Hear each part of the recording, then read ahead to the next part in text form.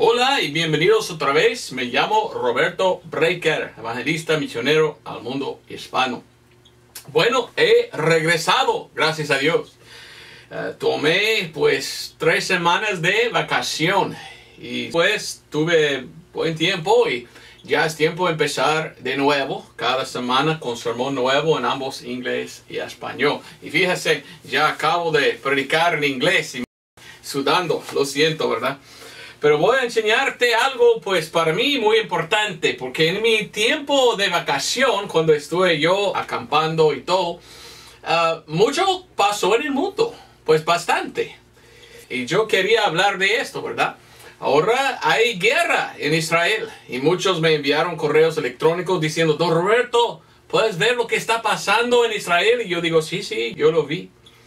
Pues si uno no sabe, y no sé por qué, porque está pues en todos lados, hablan de eso, pero si uno no sabe lo que pasó, había una organización que se llama Hamas. Hamas. Hamas tiró misiles hacia Israel. Bastantes. No sé si has visto los videos, pero yo sí. Y para mí yo pensé, mire, parece como si fuera estrellas cayendo del cielo o algo así y muchas bombas y explotaban bastante y muchos muertos y todo. Una organización que se llama Hamas. Se escribe Hamas en inglés, pero en español tenemos la palabra jamás. ¿Qué significa jamás? Nunca, nunca, jamás. Bueno, ¿quién es Hamas? Es una organización que dice, no queremos nosotros, los judíos, en nuestra tierra, según ellos y jamás van a parar. Ellos siempre quieren pelear para votar fuera a la gente de Israel. Hmm, interesante para mí que tiene nombre jamás. En inglés pronuncia jamás. En español jamás. Pero hoy vamos a hablar de la tierra de Israel. Y estuve yo escuchando las noticias y buscando en internet más información. Y una cosa que, que vi me quedó espantado. Porque miro a Hamas atacando a Israel y cuando Israel quiere defenderse, eh, los de las noticias dicen qué malo Israel porque ellos están en violencia. Y yo digo, pues están muchos muertos de los de afuera atacaron, pero echan la culpa a Israel y dicen que Israel es el malo. Cuando uno me ataca, él es el malo, ¿verdad? Yo no. Y si me defiendo con violencia, es en defensa propia. ¿Cómo soy malo yo?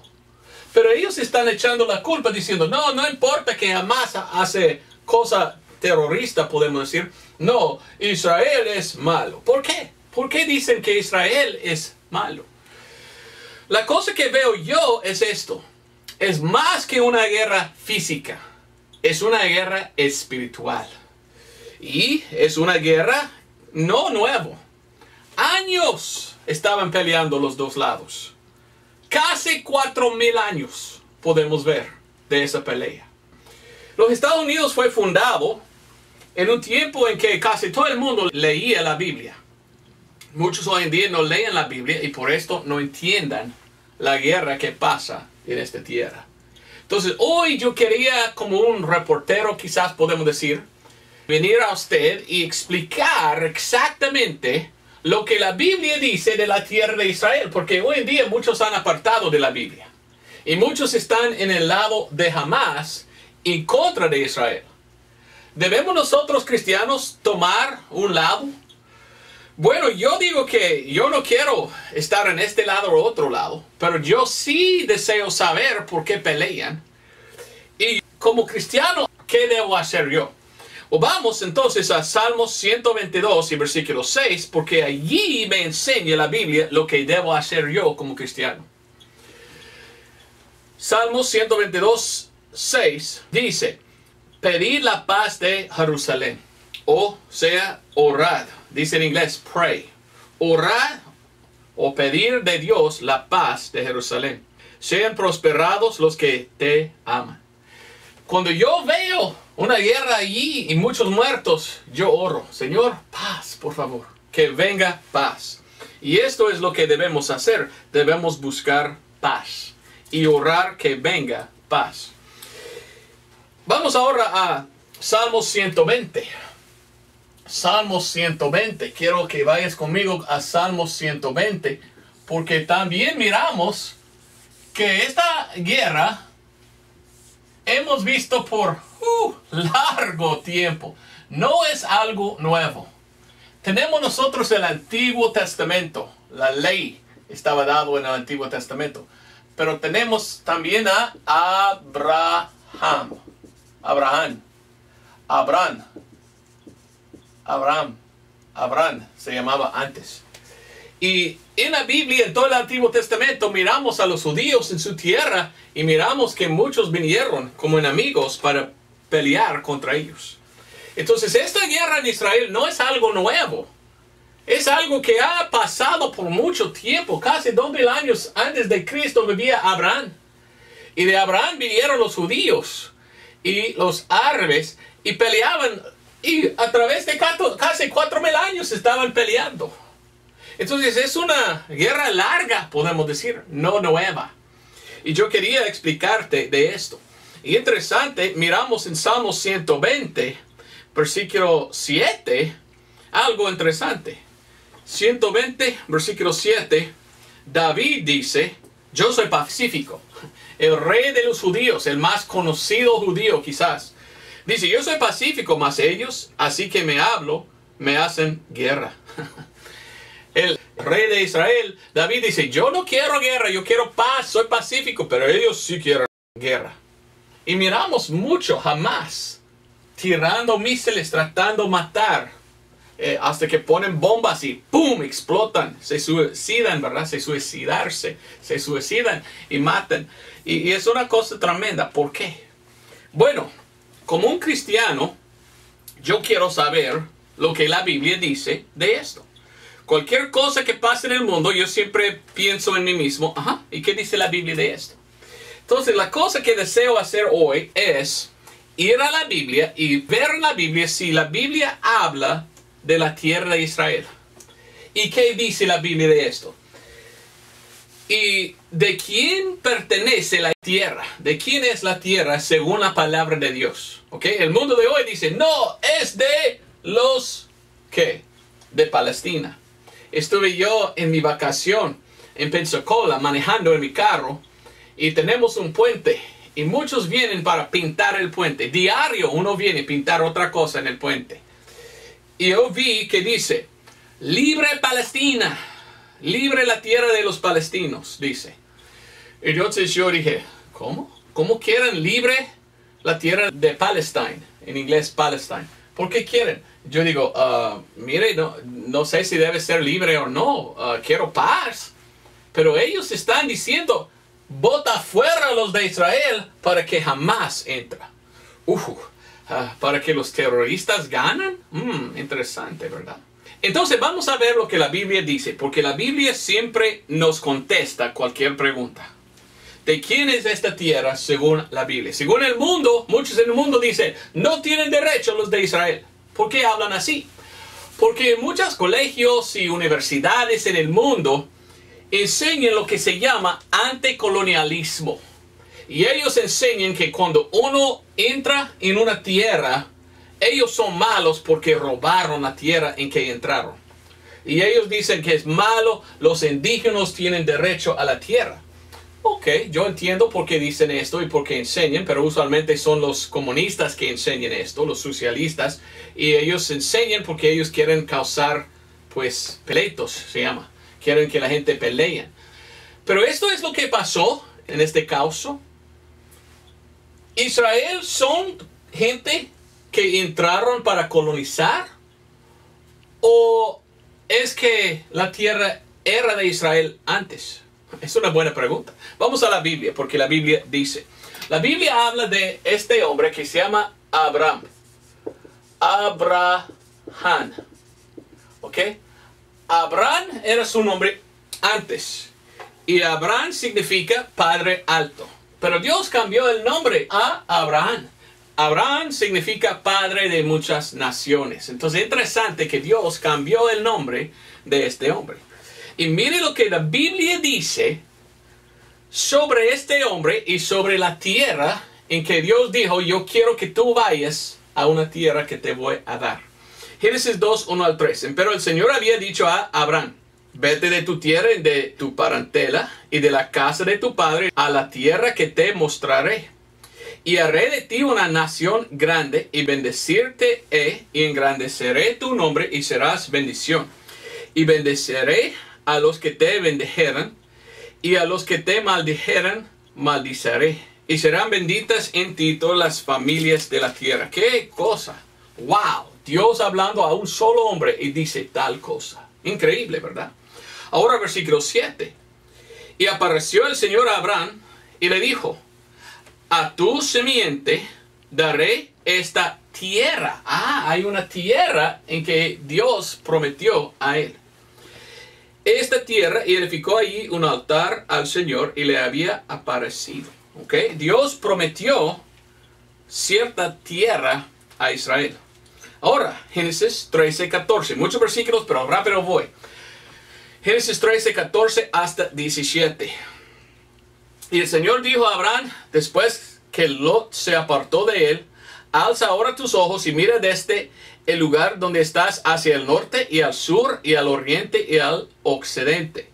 Porque toda la tierra que ves la daré a ti y a tu semejante para siempre. Una promesa de una qué? Una tierra. Y haré tu semiente como el polvo de la tierra, y si alguno podrá contar el polvo de la tierra, también tu semiente será contada. Levántate, ve por la tierra a lo largo de ella y a su ancho, porque a ti la tengo de dar. Entonces Dios dijo, toda, toda, toda la tierra en que él estaba, y él estaba más o menos alrededor de este lugar, él dijo, todo lo que tú puedes ver es tuyo. Y para tú, ¿qué? Tus niños. Ahora Génesis 15, 18. Entonces estamos mirando Dios mismo y Dios está dando una promesa. Dios da una promesa de una tierra. Diciendo, una tierra te doy, ¿ok? Si Dios te da algo, pues es un regalo de Dios. Y no debemos batallar contra Dios y, y decir, no, Dios no es cierto. No, digamos, ok, Dios sí acepto. Mire lo que dice Génesis 15, 18. Y en aquel día hizo el Señor un pacto con Abraham diciendo, a tu simiente daré esta tierra desde el río de Egipto hacia el río grande, el río Eufrates. ¡Wow! El río de Egipto es el Nilo, ¿verdad? Y puh, mucho, muy, muy lejos por allá, ni puedo poner aquí en la mapa, es el río Eufrates. Y Dios dice, toda, toda, toda esa tierra es tuyo, Abraham. Wow, interesante. Ahora, Génesis 17, 6. Génesis 17, 6. Y multiplicarte he mucho en gran manera, y te pondré en gentes, y reyes saldrán de ti. Y estableceré mi pacto entre mí y ti, y tu semejante después de ti y sus generaciones, por pacto perpetuo. Ahora dice en inglés, por siempre, por toda la eternidad, dice en inglés, por siempre. Y dice, por pacto perpetuo para hacerte a ti por Dios y a tu simiente después de ti. Oh, ok. Y te daré a ti y a tu simiente después de ti la tierra de tus peregrinaciones, toda la tierra de Canaán, en heredad perpetua y seré el Dios de ellos. Entonces Dios dice, a tu simiente, a tus hijos. Abraham tenía dos hijos, Ismael, Ismael y Isaac. Y pregunta, ¿a los dos dio Dios o solo uno? Bueno, tenemos que leer la Biblia para saber. Y vamos a Génesis 21, versículo 12. Y miramos que Dios escogió a este y no al otro. El otro era hijo de Agar, que era sierva, ¿verdad? Y pecó este hombre, Abraham, en tener sexo con su sierva. Entonces ah, Dios dijo, a él no, al otro sí. Y vamos a ver lo que dice. Dice en ah, Génesis 21, 12, leímos. Entonces Dijo Dios a Abraham, no te perezca grave a causa del muchacho y de tu sierva. En todo lo que te dijere, Sara, oye su voz, porque en Isaac te será llamado descendencia. Dios escogió Isaac y dijo, Ismael no, Isaac sí. Y mi promesa doy a Isaac, no al otro. Oh, de veras. Ok, ahora versículo 16 de capítulo 22. Génesis 22, 16 hasta 18. Y dijo, por mí mismo he jurado, dice el Señor, por cuanto has hecho esto y no me has rehusado tu hijo, tu único hijo. Bendiciendo te bendiciré y multiplicando multiplicaré tu simiente como las estrellas del cielo y como la reina que está a la orilla del mar. Y tu simiente poseerá las puertas de sus enemigos. Uh, interesante. Isaac algún día tendrá enemigos. Y Dios dice, pero él no es de los enemigos, la posesión de la tierra es tuya. Interesante. 18. En tu simiente serán benditas todas las gentes de la tierra por cuanto obedeciste a mi voz. Entonces Dios dice, mire, de Abraham la promesa a la tierra, a Isaac, a Ismael no. Isaac tenía dos hijos. Uno que se llamaba Esaú y el otro se llamaba Jacob o Jacobo. Algunos dicen solo Jacob, algunos dicen Jacobo. Bueno, vamos a ver. ¿Qué dice la Biblia? ¿Escogió Dios a Esaú o a Jacob? Ah, bueno, sabemos que este hombre era malo y vendió su derecho de tener lo que tenía que tener. Entonces, el otro era lo que ganó. Y en Génesis 28, versículo 1, leímos. Entonces Isaac llamó a Jacob y bendíjolo y mandólo diciendo, no tomas esposa de las hijas de Canaán. Ahora versículo 3 y 4. Y el Dios Todopoderoso le bendiga y te haga fructificar y te multiplique hasta venir a ser congregación de pueblos. Y te dé la bendición de Abraham. Ah, a él, no a él. Y a su simiente contigo para que heredas la tierra de tus peregrinaciones que Dios dio a Abraham. Ahora mira el versículo 13. Y aquí el Señor estaba en lo alto de ella, el cual dijo, yo soy el Señor, el Dios de Abraham, tu padre, y el Dios de Isaac. La tierra en que estás acostado, te la daré a ti y a tu simiente. Y será tu simiente como el polvo de la tierra, y más y más y más. Entonces, leímos aquí que la tierra es para Jacob. No dice nada, voy a poner Jacob no dice nada de dar la tierra al otro. ¿Sabes qué? De este lado vienen los árabes. Los árabes hoy en día, la mayoría de ellos son de Ismael y Esaú. Los que viven en, la tierra de Palestina. ¿Ok? Pero según la Biblia, la promesa de la tierra fue dado a quién? ¿Los árabes o a Jacob? Dios cambió el nombre de Jacob. Vamos a Génesis 32, 28 cambió el nombre. Como Dios había cambiado el nombre de Abraham, de Abraham a Abraham, cambió Dios el nombre de Jacob a otro nombre. ¿Cuál era el nombre en que Dios había cambiado? Génesis 32, 28. Leímos. Y él dijo, no será más tu nombre Jacob, sino Israel, porque como un príncipe tienes poder con Dios y con los hombres y has prevalecido. Jacob significa engañador, porque engañó a su hermano. Lastimosamente hizo un, pecado. Pero Dios dijo, pero te he escogido y yo cambio su nombre de uno que es uno que hace engaño a uno que es príncipe. La palabra Israel significa príncipe. Y Dios dice, tú eres mi príncipe a usted, a usted doy la tierra. Entonces, por esto se llama la tierra de Israel, porque era de Jacob. Entonces miramos la línea de la promesa de Dios y lo que Dios dijo a Abraham, y a Isaac y a Jacob, no a ellos. Interesante.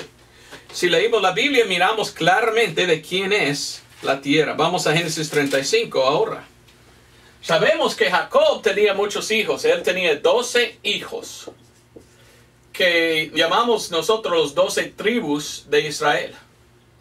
Y sabes qué? La Biblia dice que también a ellos fue dado la promesa de la tierra.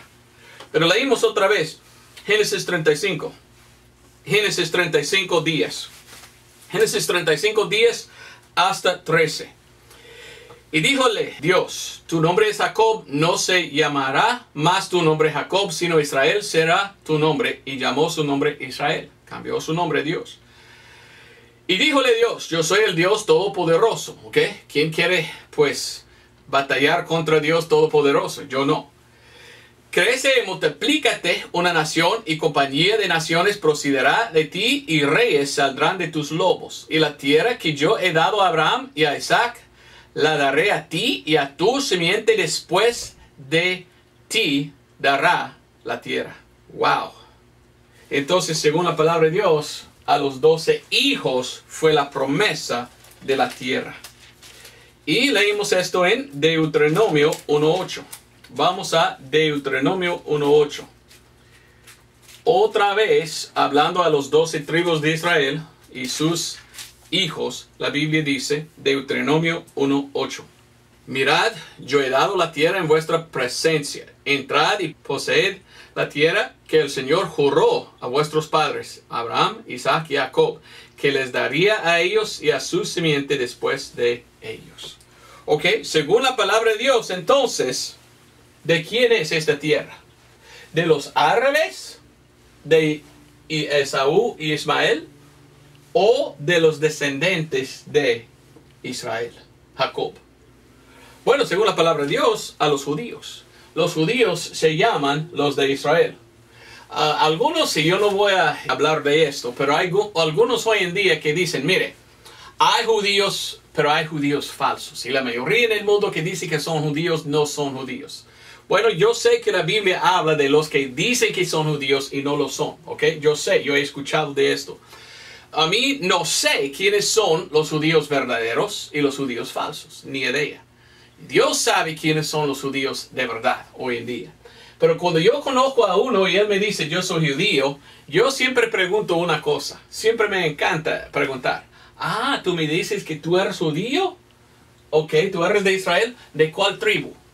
Y muchas veces me contesta. Ah, yo soy de, de Simeón o de, de Isaacar o yo de Neftalí, y ellos saben de cuál tribu vienen.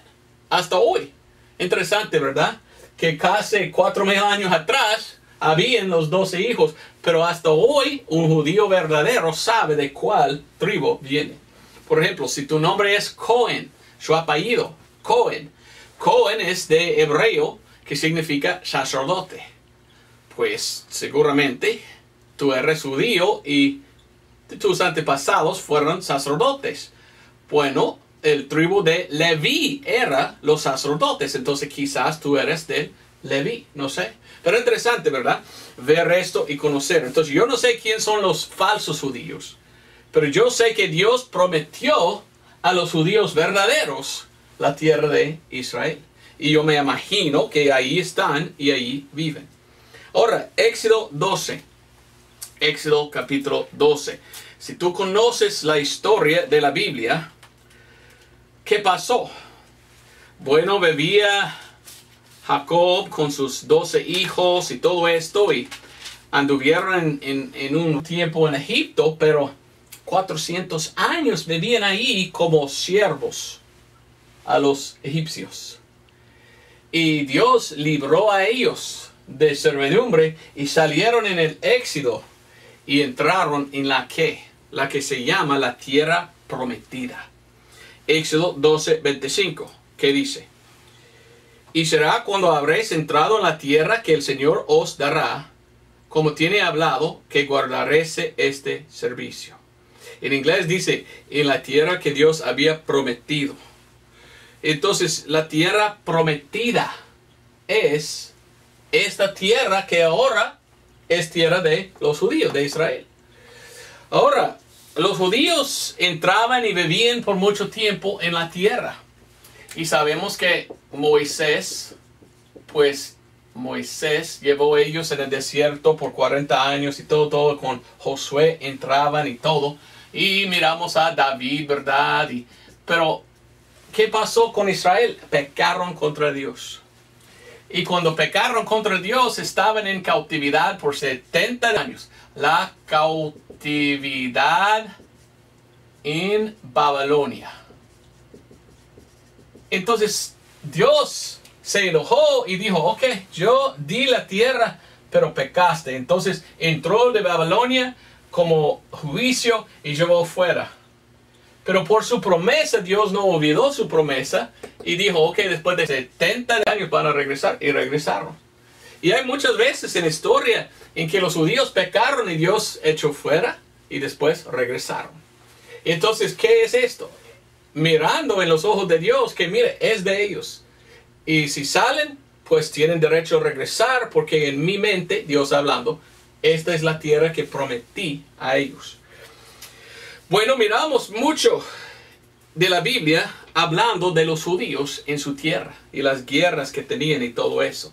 Y Dios dijo que Él había escogido a los judíos. Vamos a Deuteronomio 7.6. Deuteronomio 7.6 dice, porque tú eres pueblo santo al Señor tu Dios. El Señor tu Dios te ha escogido para serle un pueblo especial, más que todos los pueblos que están sobre la faz de la tierra. Qué tremenda, qué cosa que Dios dijo, ustedes judíos, ustedes son mi pueblo escogido. Sobre los demás. ¿Por qué? ¿Por qué habló así Dios? Bueno, sabemos. Porque a los judíos dio Dios su palabra, la Biblia. Y mucha profecía. Y toda la profecía, hasta la ley dio a Moisés, que era la ley de cómo vivir moralmente, tener morales. Y la profecía de la Biblia, específicamente eh, Daniel, Daniel dio una profecía que va a venir el Mesías y el Mesías vendrá en 483 años, algo así, la profecía de Daniel capítulo 9. Llegó Jesucristo exactamente en esta fecha. ¿Y qué hizo Israel? Rechazaron a su Mesías lastimosamente. Y después, 70 después de Cristo, fueron expulsados. Expulsados de la tierra. Porque ellos habían rechazado a su Mesías Dios los echó fuera y los romanos echaban fuera a los judíos. Así enseña la Biblia. Pero ¿qué pasó? Una cosa interesante pasó. En el año 1947, el ONU, Organización de Naciones Unidas, hizo una partición de esa tierra que en aquel entonces llamaban no la tierra de Israel, sino la tierra de Palestina. Ahora, ¿sabes de dónde viene Palestina, la palabra Palestina? No existía en la Biblia. Viene Palestina de Filistea o Filisteo. Los filisteos fueron los malos que peleaban contra Israel en aquel entonces en la Biblia y ellos estaban en la tierra y Dios dijo, no, no tienen derecho los filisteos a esta tierra. Yo prometí a Israel la tierra, vaya, pelea con ellos y bótalos fuera. Interesante que ellos formaban la palabra Palestina de Filistea. Interesante. Pero ¿qué pasó? Uno dijo, si los judíos quieren regresar a Israel, pueden. Un medio es para los judíos y otro medio va a los árabes. Y el ONU dijo esto. En 1948, muchos judíos habían regresado y ellos declararon, declar, declararon así como una nación. Y allí empezó otra vez la nación de Israel en 1948, casi dos mil años de no estar en su tierra, ya otra vez regresaron. Ahora, pregunta, ¿tenían derecho a regresar a su tierra? ¿Sí o no? Muchos en el mundo dicen, no, hay ninguna manera. Ok, pero el ONU dijo que sí. Pero ¿qué, qué importa el ONU? Dios dijo que era un convenio. Hizo un convenio o un pacto con ellos, con su padre Abraham. Y Dios dijo, mire, a Israel doy la tierra. Entonces, según la Biblia, tienen derecho a regresar. Mire lo que dice Levítico 26. Dios también dice en la Biblia que si ellos tenían que salir de la tierra, que Dios mismo prometió traerlos otra vez. Entonces yo, yo como cristiano leo la Biblia y yo digo, mire, según la Biblia la tierra es de Israel. Yo no veo ah, nación de Palestina. Pues quizás puede existir, pero no dentro de Israel, según la Biblia. Pero el problema es, hoy en día no, no creen en la Biblia, muchos. Pero mira Levítico 26, 27. 26, 27 dice, hablando Dios con Israel, y si con esto no me oyeres, mas procedieres conmigo en oposición, yo procederé con vosotros en contra y con ira, y os castigaré aún siete veces por vuestros pecados. ¿Sabes que esto es? La tribulación. Siete veces, un vez se refiere a un año, siete años. Yo creo en un rapto pretribulacional y después del rapto, siete años de la tribulación. La Biblia dice a la tribulación, la Biblia dice que es el tiempo de la angustia de Jacob. Y aquí está la profecía de siete años de la tribulación. Algunos hoy dicen, no, no hay rapto pretribulacional. No, la tribulación no es de siete años. Y yo veo, siete veces, siete años. ¿Cómo sabemos que es un año? En Revelación dice, una vez dos veces y, media vez. La palabra vez está hablando con certeza, seguramente está hablando de un año. Pero Dios dice que va a castigar a ellos. Aún más dice, versículo 29, y comeréis las carnes de vuestros hijos y comeréis las carnes de vuestras hijas. Y destruiré vuestros altos y tallaré vuestras imágenes y pondré vuestros cuerpos muertos sobre los cuerpos muertos de vuestros ídolos y mi alma os abominará. Esto hará Dios si ellos van en contra de él. Mire lo que dice 31. Y pondré vuestras ciudades en desierto y asolaré vuestros santuarios y no oleré la fragancia de vuestro suave perfume. Y asolaré también la tierra y se pasmarán de ella vuestros enemigos que en ella moran. Y a vosotros os espares, iré por las naciones y desenvainaré espada en pos de vosotros y vuestra tierra estará asolada y yermas vuestras ciudades. Entonces la tierra holgará sus sábados y más y más y más. Pero dice que vendrá que desolación y serán esparcidos. Esparcidos. Exactamente lo que pasó según la historia de los judíos, por haber rechazado su Mesías, esparcidos entre todas las naciones, como dice la Biblia, Rusia y, Alemania, y Polandia y todo, y matados de espada. Hitler mató muchos. Y su tierra será desolada. Aquí en mi mano tengo algo interesante, solamente está en inglés, no sé si había traducido, pero se llama Innocence Abroad, Roughing It and Innocence Abroad. Y es uh, jornal de Mark Twain. Mark Twain o Samuel Clemens es un autor famoso en inglés. Y en los años 1800 algo, él visitó muchos lugares en su viaje alrededor del mundo. Y él está escribiendo aquí cuando él visitó a Israel. Y él entró en Jerusalén y él dijo, wow, es desolado, no hay nada. Exactamente como la profecía de la Biblia dice. Si ellos rechazan a su Dios, serán esparcidos y su tierra desolada. Y esto es un testigo ocular que dijo, mire, qué, qué desolado. Bueno, ¿qué pasó? Pues Dios entonces dijo que ahora es tiempo de regresar. Y como Dios dio el castigo, bueno, en la Segunda Guerra Mundial, 6 millones de judíos matados por Hitler, qué feo, ¿verdad? Y todo eso.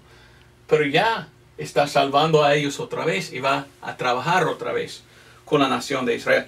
Muchos hoy en día que dicen que son cristianos, supuestamente, creen en la teología, lo cual es, ellos dicen que Dios completamente terminó con los judíos. Y por muchos años, cuando los judíos fueron votados fuera de Israel, muchos cristianos dijeron, estamos en contra de, de, los judíos. Y Dios terminó con los judíos y ya no más va a hacer nada con los judíos. Y cuando entró este autor famoso en 1800 algo y dijo es desolado, ellos dijeron, sí, estamos correctos, Dios terminó con los judíos. Pero termina Dios con los judíos. ¿Cómo pudiera Dios hacer un pacto y decir a este hombre, para siempre tus hijos van a morar en esta tierra y no cumplirlo? Será un Dios falso, ¿verdad? Dios cuando hace promesa, esto es para siempre, Él no puede mentir. Entonces muchos cristianos verdaderos que no creían en esto, ellos creyeron que algún día Israel será reconstruido. Y en los años 1600, 1700, 1800, había muchos cristianos que dijeron, será reconstruido Israel. Y entrarán otra vez Israel en su tierra. Y esto es que pasó en 1948. Probando que la Biblia es la verdad. Y muchos cristianos quedaban ah, boca abierta y cerrada. No pudieran ahora decir que no, no más para los judíos. Ya, sí más para los judíos. ¿Cómo sabían ellos que tenían que regresar? Porque hay muchas promesas en el Antiguo y el Nuevo Testamento de cosas futuras en que Dios otra vez trabajará en Israel con los judíos. ¿Cómo pueden ser cumplidas si Dios está terminado con ellos? No puede ser. Entonces muchos cristianos dijeron, ajá, mire, ya sabemos, ya sabemos que Dios va a poner otra vez y ya, mire, ya están puestos. Qué bien. la Biblia es verdad. Sí, la Biblia es verdad, las profecías de Dios son verdad. Y muchos cristianos sabían que Israel tenía que regresar a su tierra. Vamos a ver algunos pues, ejemplos en la Biblia de esto. Solo leyeron la Biblia y dijeron, no, la Biblia dice que los judíos tienen que regresar. Deuteronomio 30. Ahora, no sé si tú hablas inglés, si no, lo siento, pero hay dos películas buenas. Hollywood es fea y muchas veces las películas son malvadas y no recomiendo ver una película. Pero habían dos películas hechas de Hollywood que para mí son buenos porque hablan de cuando regresaron a la tierra. Uno se llama Éxodo. Exodus se llama en inglés. Contiene este famoso Paul Newman. Y esa es la historia de cómo regresaron los judíos a su tierra en un barco que se llamaba el Éxodo. Qué raro, ¿verdad? La primera vez en el Éxodo cruzaron y entraron en la tierra, primera vez con Moisés. Otra vez en este año regresaron en un barco que se llamaba el Éxodo. Qué bendición. Entonces no sé si puedes hablar en inglés, pero si puedes, recomiendo esta película Éxodo o Exodus. Había otro que se llama Cast a Giant Shadow, que contiene este autor famoso Kirk Douglas.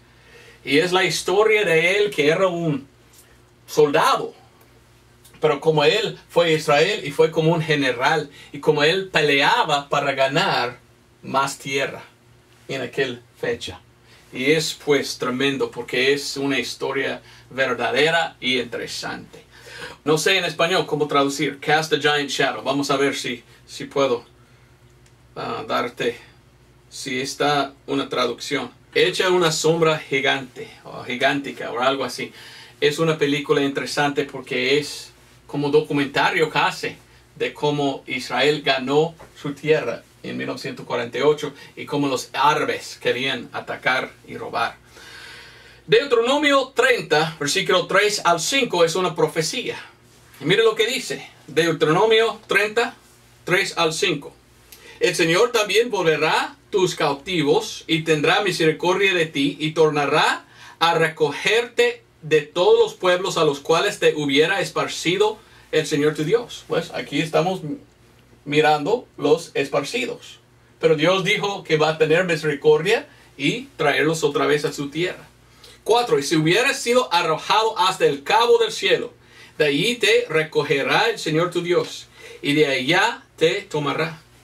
Y volverte a el Señor tu Dios a la tierra que heredarán tus padres, y las poseerás, y te heredará bien, y te multiplicará más que a tus padres entonces la Biblia dice que si Dios va a recogerlos si están esparcidos dentro de las naciones y traerlos otra vez en la tierra. Y exactamente es lo que Dios hizo. Ahora, la Biblia también nos enseña algo y yo puedo decir algo, yo puedo profetizar ahora mismo. no es mi palabra, ¿verdad? No estoy profetizando algo nuevo, solo estoy profetizando lo que la Biblia profetiza que según la palabra de Dios, ahora que Israel está en su tierra otra vez, la Biblia dice que van a reconstruir su templo. Según la palabra de Dios, en el futuro, algo va a pasar en el templo de los judíos en Israel. Entonces los judíos tienen que reconstruir el templo. Y yo pienso que en un año, dos años, tres, muy poco van a reconstruir, porque la Biblia nos enseña que algo pasa en la tribulación en el templo. Bueno, estamos muy cerca del rapto, según la palabra de Dios, y cuando viene el rapto, siete años Dios va a castigar o dar su juicio y va a salvar a Israel. En los últimos tres y medio años, según la palabra de Dios, eh, el anticristo va a tomar control. Israel tiene que huir 1260 días. Entonces van a perder otra vez su tierra, lastimosamente, pero solo por tres y medio años, según el libro de Revelación o Apocalipsis. Después vendrá Armagedón. Y a Armagedón Dios va a destruir los enemigos y va a gobernar o reinar en el milenio por mil años. ¿Ok? Mucho, mucho, mucho de esto voy a hablar, pero solo pocos versículos porque no me queda tiempo. Pero así enseña la Biblia. Venga conmigo a Zacarías 6:15 y mira esta profecía. Zacarías 6:15. Y los que están lejos vendrán y verificarán en el templo del Señor y conoceréis que el Señor de los ejércitos me ha enviado a vosotros, y será esto si oyeres obediente la voz del Señor vuestro Dios. Una profecía que cuando regresa Israel a su tierra, van a reconstruir su templo que había ahí antes. Y yo sé que la Biblia es verdad, y yo sé, según Pablo, tiene que estar el templo reconstruido. Vamos a segundo de Tesalonicenses. Segundo de Tesalonicenses capítulo 2, versículo 3. 2.3 dice, no os engañe nadie en ninguna manera porque no vendrá, que El día de Cristo. El versículo 2. Algunas Biblias dicen día del Señor. No, no, no. Correctamente traducido es día de Cristo. Esto es el texto recibido y correctamente está hablando del rapto. El rapto no viene hasta que viene primero esto. Versículo 3. Hasta que venga la apostasía y sea revelado el hombre de pecado, el hijo de perdición. El anticristo tiene dos nombres. El hombre de pecado el hijo de perdición. Y ese es el tiempo, según la palabra de Dios, en que el anticristo va a gobernar después del rapto. Mire lo que dice que él va a hacer. 4. El que se opone y se exalte sobre todo lo que es llamado Dios o que es adorado, tanto que como Dios se asienta en el templo de Dios, mostrándose a sí mismo que Él es Dios.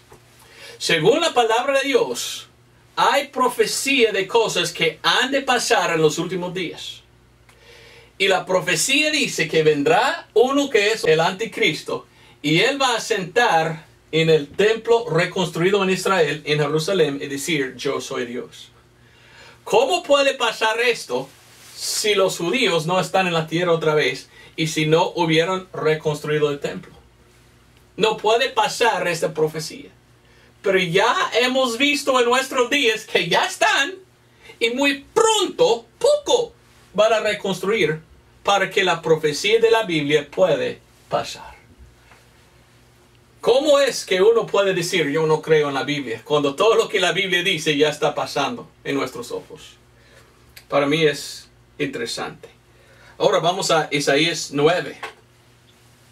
Isaías 9, ¿ok? El libro de Revelación o Apocalipsis habla mucho de todo esto.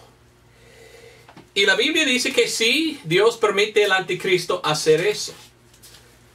Pero cuando viene Cristo Armagedón, Cristo va a sentar y gobernar y reinar. ¿Dónde? En Jerusalén, en el trono de David. Isaías 9:6. Porque un niño nos es nacido, está hablando de Jesucristo, hijo nos es dado y el principado sobre su hombro. Y llamaráse su nombre admirable, consejero, Dios fuerte, Jesucristo es Dios, manifestado en la carne, Padre eterno, príncipe de paz. Lo dilatado de su imperio y la paz no tendrán término. sobre el trono de David y sobre su reino, disponiéndolo y confirmándolo en juicio y en justicia desde ahora para siempre. El celo del Señor de los ejércitos hará esto. Jesucristo vendrá y se sentará en el trono en Jerusalén, en el trono de David. ¿Sabes que hace poco los arqueológicos en Israel han descubierto dónde vivía David? Y, todo, todo lo que era su cuarto y todo, todo, era abajo de, de un lugar de parqueo. Y ellos desenterraron y wow, aquí viví hasta que encontraron sellos de gente en la Biblia y todo. La Biblia es la verdad. Ahora, la Biblia dice que, que vendrá primero el rapto, después el anticristo. El anticristo va a entrar y sentarse en el templo y decir yo soy Dios, cuando Él no es Dios. Pero una cosa interesante, en el templo siempre tienen el arca o la arca, siempre me, me equivoco, ¿verdad? Es el arca o la arca, siempre olvido. Pero arca. Y ahí está el arca, ¿ok? Interesante como tenemos palabras en inglés que no existen en español. Pero mi pensamiento es esto. En el Antiguo Testamento, el tabernáculo o el templo, tenían que llevar adentro del lugar más santísimo y poner su sangre aquí para ser perdonado en el arca. Pero el arca fue diseñado como si fuera una silla. Y ahí está el arca. Y algunos han dicho que era una silla, porque es la silla en que se sentó Dios. Cuando aceptó el sacrificio, se sentó y se llama tabernáculo, porque un tabernáculo es donde Dios bajó para tabernacular con su gente. Y todo el pueblo de Israel dijo, nuestro Dios está sentado ahí. Él está en nuestra presencia. Entonces era diseñado el arca como una silla. Y aquí arriba en español se llama el propiciatorio. ¿Sabe qué se llama en inglés? Qué, qué increíble. Esto en inglés se llama the mercy seat. Y una seat es una silla. La silla de misericordia es la palabra en inglés pensando en esto, yo digo, mire, la Biblia dice que el anticristo va a entrar en el templo y sentarse. ¿Dónde va a sentar? En el arca y decir, yo soy Dios. ¡Wow! Toda la profecía de la Biblia es verdad. Pero él por poco tiempo, porque él no es el Dios verdadero, es el falso, el anticristo. Vendrá el Dios verdadero, Jesús, y él va a sentarse por mil años. Pero para hacer todo esto, hay que estar en Israel otra vez los judíos y ellos tienen que reconstruir su templo. Y cuando está reconstruido el templo, ya puede pasar mucho de la profecía del libro de Revelación. Para mí interesante, muchos dicen, ah, el libro de Apocalipsis o Revelaciones de historia pasada. Mentira. Es de cosas que han de venir. Y sabemos nosotros esto, porque mucho de ha de venir tiene que pasar cuando Israel está en la tierra y ya están otra vez en la tierra, entonces yo veo todo futuro todavía. Y hay que venir. Va a gobernar por mil años sentado en el trono en Israel, gobernando sobre su pueblo Israel, en el trono de David, gobernando sobre los judíos. Mil años. Siempre miramos, Satanás quiere imitar, quiere imitar Satanás todo. ¿Qué quería Hitler? Hitler vino para matar a los judíos. Mató muchos judíos y ¿qué quería Hitler? Reich, el tercer Reich de Hitler, ¿verdad? Que es un Reich, mil años. Hitler quería su propio mil años de gobierno. ¿Por qué? Porque fue poseído y, guiado por el diablo, digo yo. bueno, mucho más que podemos decir, pero quería explicarte esto. ¿Puedes verlo? ¿Puedes ver que la Biblia es verdad? Según la palabra de Dios, la tierra es de Israel, el pueblo escogido de Dios. ¿Ok? Hoy en día miramos muchos diciendo, no, es la tierra de Palestina, los árabes. Y es la tierra de Palestina. ¿De Palestina en verdad? ¿Es de Palestina de verdad? Bueno, si uno no cree en la Biblia, pues yo sé por qué quieren decir eso. Pero como cristiano, yo leo en la Biblia que no, según Dios, es, es de los judíos. Entonces el ¿Cuál lado estás? ¿El lado de Dios o el lado del mundo? Porque usualmente el mundo está abajo de Satanás. Satanás se llama el Dios minúscula, de minúscula, de esta tierra. Y él está empujando todo para qué? Para que él pueda sentarse y reinar y decir que él es Dios. Ah, ya me entiendo entonces porque muchos están en contra de Israel. Porque están apoyando la nueva orden mundial, apoyando al anticristo, venir y sentarse allí, como la Biblia dice. Ah, ya sé entonces porque hay muchos que están en favor de Palestina y los árabes y en contra de Israel. ¿Y tú? ¿Puedes verlo? Isaías 16.5. Isaías 16.5 dice así. Y despondráse trono en misericordia, y sobre él se sentará firmemente en el tabernáculo de David, quien juzgue y busque el juicio y apresure la justicia. Jesús gobernando en Israel, reconstruido, toda la ciudad de Israel reconstruido, en el trono de David sobre los judíos en aquel entonces.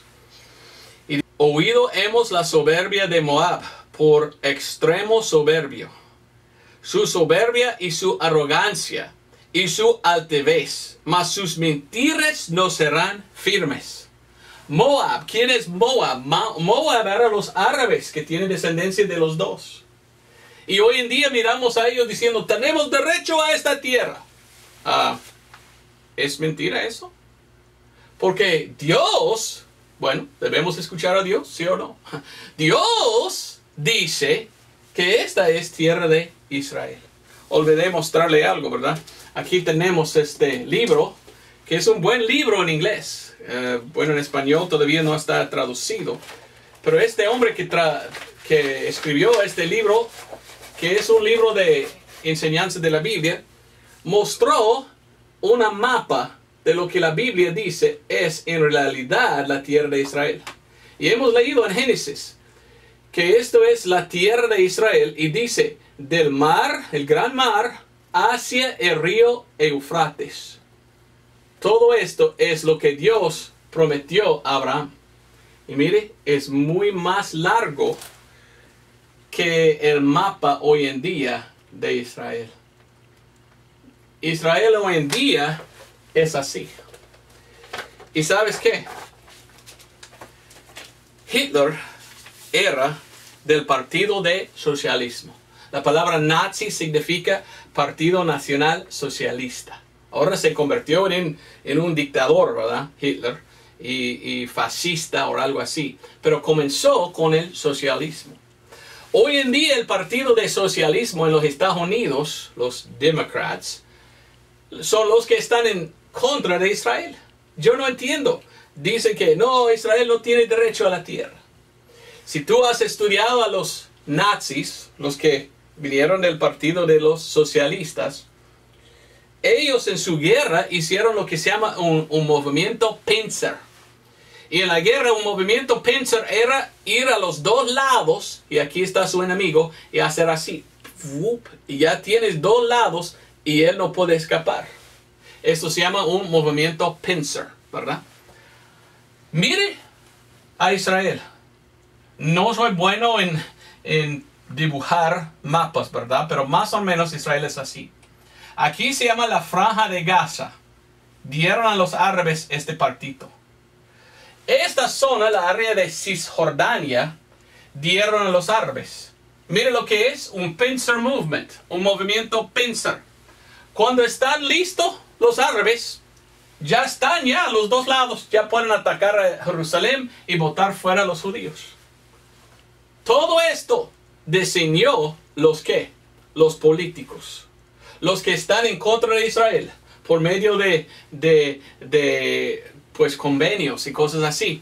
Así dividieron la tierra. Y Israel dijeron, no, no es nuestra tierra, no, cállese. Y dieron más tierra a los árabes. ¿Y qué pasa? Ya está todo diseñado para atacar a Jerusalén, tomar control, votar fuera a los judíos. ¿Qué pasará según la Biblia cuando están votados fuera? Anticristo, se sienta y dice yo soy Dios. Y ya sabemos que ya es el tribulación. Miramos todo esto, miramos todo lo que está pasando. Otra cosa que quería decir, interesante, olvidé decir. Árabes y judíos, ambos vienen de Abraham. Aquí en los Estados Unidos hay un hombre que se llama Jared Kushner.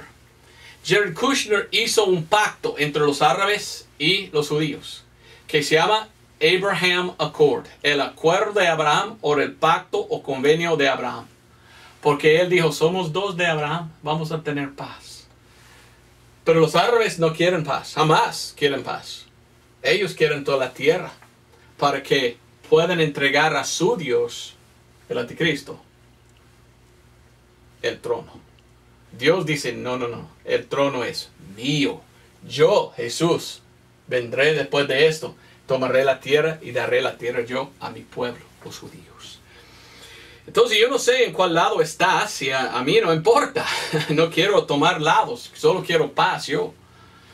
Pero yo leo la Biblia y yo quiero saber qué está pasando. Porque hay muchos hoy en día uh, que quieren decir que Israel es malo y quieren apoyar a los árabes y qué, qué pasa, todo eso. Y yo veo, ah, ya entiendo. Nosotros tenemos la Biblia y el Dios de la Biblia es Jehová o el Señor. Jesucristo es el Señor, según la Biblia. Los árabes tienen el mismo Dios. Bueno, ellos adoran a Alá. Alá es el mismo Dios. Bueno, en inglés hay un sitio web donde puedes ir que se llama WorldNet Daily, wnd.com. Y ellos hicieron un, una investigación y estudio y fijaban que los arqueológicos descubrieron un, un escrito de 1700 años atrás. Y dijo esto, 1700 antes de Cristo, dijo esto. Alá es el Dios de violencia y rebelión. Rebelaba contra el Dios verdadero y Él es de violencia y rebelión. Ahora, si tú conoces tu Biblia, ¿quién es esto? ¿El Dios verdadero? No, Lucifer. Lucifer es el que cayó del cielo y quería pelear contra el Dios verdadero. Lucifer es el que va a sentarse aquí y decir yo soy Dios y votar fuera los... Entonces todos que están dando la tierra a los árabes, están dando la tierra a Lucifer o Satanás. Apoyando la agenda de Satanás, no la agenda de Dios. Qué horrible pensar, pero es la verdad si tú crees en la Biblia. Entonces, ¿en cuál lado debemos estar? ¿En el lado de, del mundo o en el lado de Dios? Yo quiero seguir a Dios y por esto yo quiero leer la Biblia y saber por qué pelean allí. Y yo veo claramente que el mundo está en contra de los judíos. Es porque ellos están en favor de Satanás y quieren apoyar al anticristo. Y esto es una agenda en que no puedo ir yo. Bueno, eres salvo. Hay que venir a Jesús porque Jesús es el que gana al fin. Y Jesús es el que gobierna por más tiempo. Y si tú no tienes Jesús, pues tú no tienes la verdad. Porque Él dijo, yo soy el camino y la verdad. Y nadie viene al Padre sino por mí. Gracias por escuchar este sermón. Espero que pudiste entender mucho más de todo esto y espero que puedas compartir con otros esta verdad. Dios te bendiga. Adiós.